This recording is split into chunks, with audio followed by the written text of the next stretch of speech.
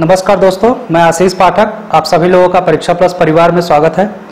जैसे जैसे अभी आयोग ने नोटिस जारी किया और मैंने आपको बताया भी था कि आयोग ने बोला था कि आप 19 तारीख तक मेंस का फॉर्म भेज सकते हो 20 को हम एग्ज़ाम करा लेंगे और मैंने उसी समय बोला था कि आपका ये 20 को एग्ज़ाम होना नहीं है। आज वो क्लियर कर दिया कि 20 को आपका एग्ज़ाम मेंस नहीं होगा 2019 का, पीसीएस का और साथ ही साथ जो आपका तीन मई को एग्ज़ाम होना था, आरओ और ई आर वाला, वो भी स्थगित कर दिया गया है।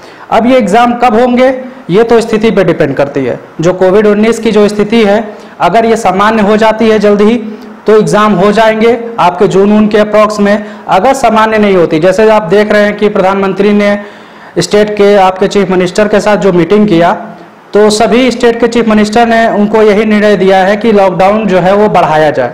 तो लॉकडाउन अगर बढ़ता है तो इस स्थिति में क्या होगा कि आपके जो भी एग्ज़ाम लगे हुए हैं, चाहिए आपके जो एग्ज़ाम कैंसिल हुए हैं मई तक, और जो आपका जून को 21 जून को जो आपका प्री है 2020 का, उसे भी कैंसिल होने की संभावना बढ़ गई है। ठीक है? तो ये सब स्थिति पे डिपेंड करता है। अगर ये लॉकडाउन की स्थिति बढ़ती है, मान लीजिए मई तक जाती है या तीस अप्रैल तक जाती है तो आपके जो भी एग्ज़ाम है, वो कैंसिल हो जाएँगे आगे के, क्योंकि उनको क्या करना होगा, जो पीछे के एग्ज़ाम इन्होंने कैंसिल कराए, वो पहले कराएँगे, फिर बाद में आपका जो लेटेस्ट एग्ज़ाम है, वो बाद में कराएँगे।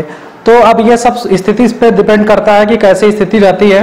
साथ ही साथ जो लोग पीसीएस प्री 2020 के लिए और R O A R O दो के लिए तैयारी कर रहे हैं, जुटे हैं तैयारी में, वो हमारे टीम द्वारा जो है कोर्स चलाया जा रहा है लॉकडाउन पीडीएफ कोर्स चलाया जा रहा है, जिसमें आपको पर डे पाँच पीडीएफ दिया जा रहा है। इसमें कोई भी आपको फ़ीस नहीं देनी है, निःशुल्क है पूरा प्रोग्राम पूरा का पूरा आपको पाँच पीडीएफ सब्जेक्ट वाइज दिया जाएगा अलग अलग सब्जेक्ट के, और उस पर रिलेटेड आपके क्वेश्चन जो हैं, हमारे ऐप पे, परीक्षा प्लस ऐप पे कराया जाता है।